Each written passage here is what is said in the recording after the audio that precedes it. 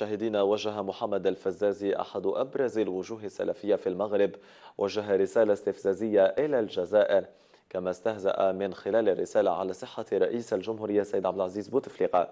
المفتي المغربي تطول على الجزائر من خلال التهجم على الجيش الشعبي الوطني. كلما جاء في الرسالة تعاملت معه صحافة المخزن وتصدر عناوينها.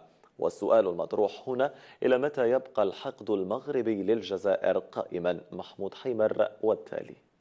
ظهرت رسالة جديدة نشرتها صحافة المخزن كتبها ما يسمي نفسه بالفقيه محمد الفزاز المغربي. يوجه من خلالها عبارات متهجمة على الجزائر وعلى شخص رئيس الجمهورية عبد العزيز بوتفليقة.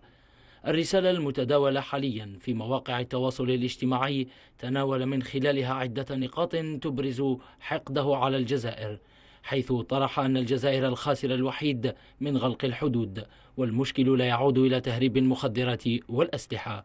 كما ازداد تطاوله واستهزأ بالحالة الصحية للرئيس عبد العزيز بوتفليقة المتواجد في فراش المرض حسبه.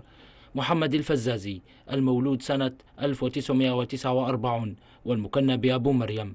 حكم عليه بالسجن لمدة 30 سنة بتهمة تفجيرات الدار البيضاء سنة 2003 لكنه استفاد من العفو الملكي من قبل الملك محمد السادس. الفزازي نسى كل هذه التهم وراح يتدخل في الشؤون الجزائرية. واصفا تخلف الجزائر في المناطق السياحية والوضع الاجتماعي معللا بذلك تفوق السياحة المغربية.